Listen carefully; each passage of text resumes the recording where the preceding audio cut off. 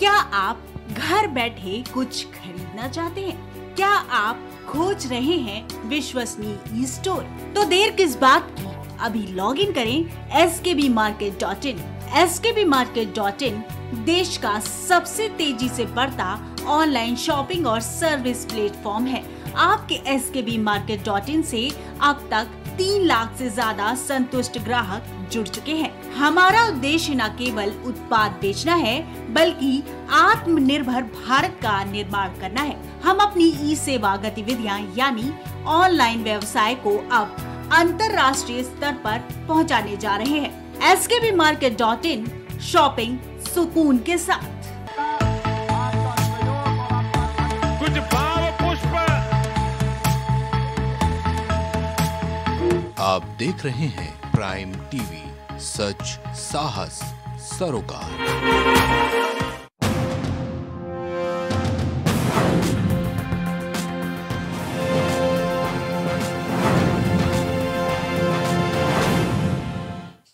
नमस्कार, आप देख रहे हैं प्राइम टीवी और मैं हूँ आपके साथ नंदिनी यादव। स्वागत है आप सबका बिहार की खबरों में। नवादा ज़िले के रो थाना क्षेत्र के सियूर गाँव में रंगदारी नहीं देने पर बदमाशों ने कोर्ट के एक मुंशी के साथ जमकर मारपीट की, जिसे इलाज के लिए सदर अस्पताल में भर्ती कराया गया। मुंशी की पहचान सियूर गाँव निवासी विक्रम कुमार के रूप में किया गया। बताया जा रहा है कि मुंशी कोर्ट जाने के लिए घर से निकला था, तभी गाँव से निकलने के पहले बदमाशों ने रास्ते में रोककर उसके साथ मारपीट की।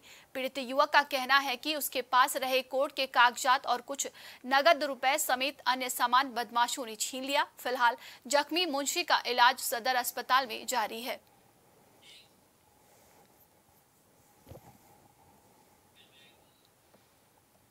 नवादा ज़िले के शाहपुर ओपी क्षेत्र के शाहपुर गाँव में आकाशीय बिजली की चपेट में आने से एक बुज़ुर्ग व्यक्ति की मौत हो गई। मौत के बाद परिजनों में कोहराम मच गया। मृतक की पहचान शाहपुर गाँव निवासी आसीन मांझी के रूप में किया गया।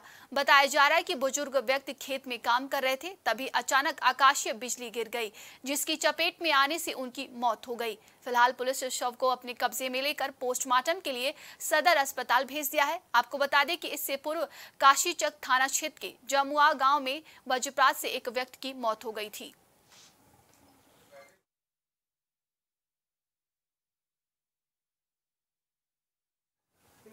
नवादा से एक बड़ी खबर सामने आ रही, जहाँ पंचायत उपचुनाव समाप्त होने के बाद बदमाशों ने पोलिंग एजेंट को गोली मारकर जख्मी कर दिया, जबकि उसके दो सगे भाई को मारपीट कर अधमरा कर दिया। सभी घायलों को सदर अस्पताल में भर्ती कराया गया। मामला मेस्कौर थाना क्षेत्र के रसूलपुरा पंचायत के हसन चक गाँव की है। घायलों में राम किशोर प्रसाद यादव के पुत्र आलोक रंजन, अमित कुमार और अक्षय कुमार शामिल हैं आलोक रंजन को हाथ में गोली लगी है। जख्मी आलोक रंजन ने बताया की माँ माँ शकुंतला देवी उत्तरी भाग से पंचायत समिति सदस्य का चुनाव लड़ रही थी। आलोक रंजन गाँव के बूथ नंबर पंचानवे पर पोलिंग एजेंट का काम कर रहा था। तभी विरोधी खेमे के लोग बोगस वोटिंग करने का प्रयास कर रहे थे, जिसका आलोक रंजन ने विरोध किया। उस समय तो मामला को शांत करा दिया गया, लेकिन जैसे ही चुनाव समाप्त हुआ, वैसे ही विपक्षी खेमे के लोग आलोक रंजन के घर पर चढ़कर गोलीबारी कर दी, जिसमें आलोक रंजन के दाहिने हाथ को गोली चीरते हुए पार कर गई।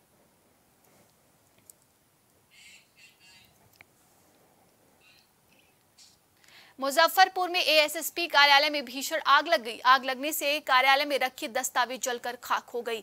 मौके पर कई दमकल की गाड़ी भी पहुँची। दमकल की गाड़ियों ने आग बुझाने का प्रयास किया। वहीं घटना की सूचना मिलते ही एएसएसपी डीएसपी मौके पर पहुँची। आग की लपटें तेज होने पर तीन और दमकल की गाड़ियाँ मौके पर बुलाई गई। बता दें कि दो कमरों में रखे दस्तावेज़ पूरी तरीके से जलकर खाक हो गए हैं।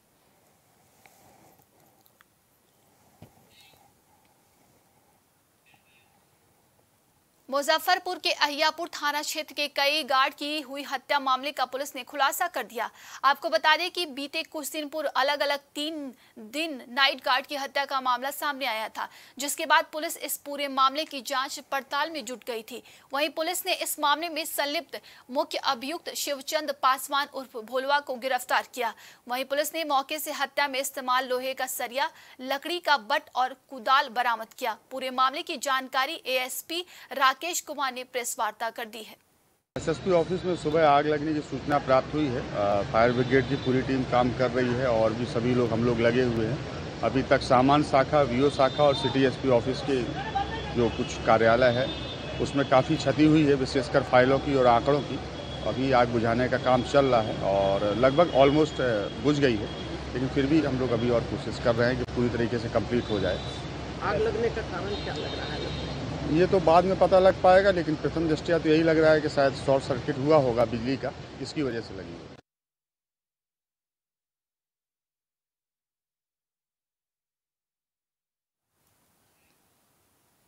खबर पश्चिम चंपारण बेतिया के रामनगर से है, जहाँ लंबे समय से दो नामजद अभियुक्त फरार चल रहे हैं। वहीं कोर्ट के आदेश के आलोक में अभियुक्तों के घर को कुर्की की गई, जहाँ रामनगर अंचलाधिकारी विनोद मिश्रा की उपस्थिति में एवं रामनगर पुलिस के सहयोग से कुर्की जब्ती की गई। इस संदर्भ थाना क्षेत्र अनंत राम जानकारी देते हुए बताया कि सुरेश शर्मा, पिता स्वर्गीय प्रभु शर्मा, दीपू शर्मा, पिता सुरेश शर्मा नामजद अभियुक्त हैं और लंबे समय से फरार हैं। उनतीस दो हज़ार बाईस में नामजद अभियुक्त सुरेश शर्मा स्वर्गीय प्रभु शर्मा दीपू शर्मा पिता सुरेश शर्मा ग्राम हरदिया पंचायत सभ्या के निवासी थे। यह फरार घोषित हो चुके हैं। इनके कुर्की जब्ती का आदेश न्यायालय से प्राप्त हुआ था और जिस मंडल पदाधिकारी बगहान द्वारा मुझे मजिस्ट्रेट के रूप में नियुक्त किया गया था।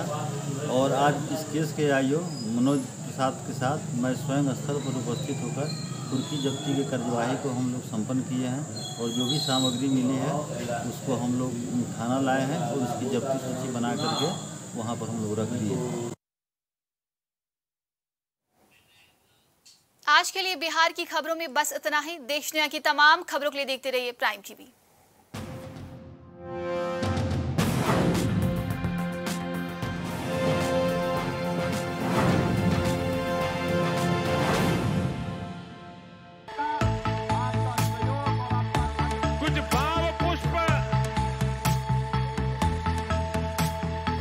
आप देख रहे हैं प्राइम टीवी सच, साहस, सरोकार।